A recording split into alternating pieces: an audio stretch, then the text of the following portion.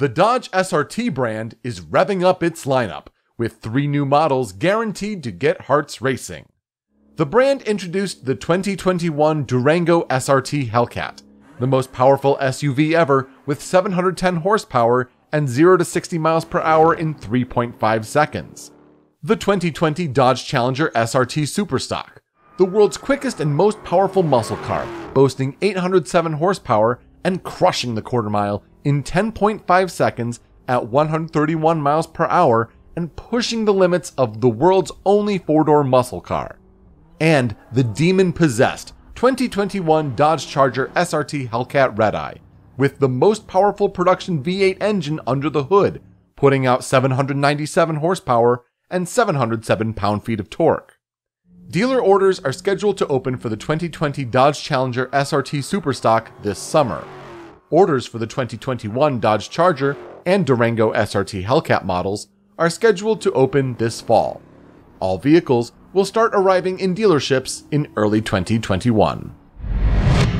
The Jeep brand introduced the 2020 Jeep Gladiator Altitude model, delivering a new level of personalized content and a distinct appearance that includes a body color grille with dark gray throats and headlamp rings, body color fender flares, black Jeep and trail rated badging, and 18 inch granite crystal aluminum wheels wrapped in 255 70R18 Bridgestone Dueler all terrain tires.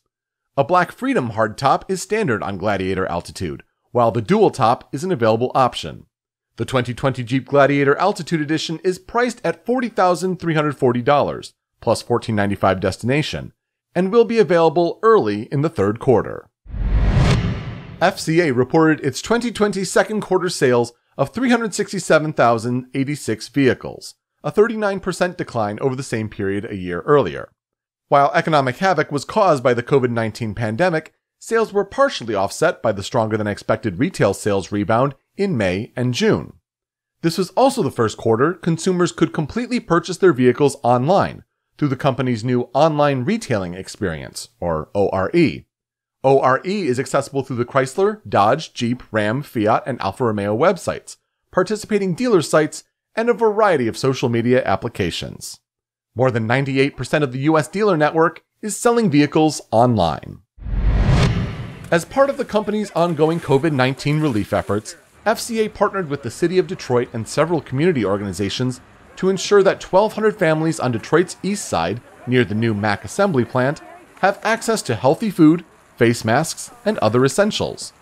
During a five hour event this past weekend, a steady line of vehicles made their way through Samaritan Center as volunteers placed non perishable food, hand sanitizer, shampoo, shower gel, toothpaste, and other household items into vehicles before sending them on their way. FCA has donated more than 4.4 million meals and more than 3.2 million face masks since March to support communities throughout North America. Those are this week's top stories on FCA Replay. I'm Peter Spezia reporting for FCA Digital Media.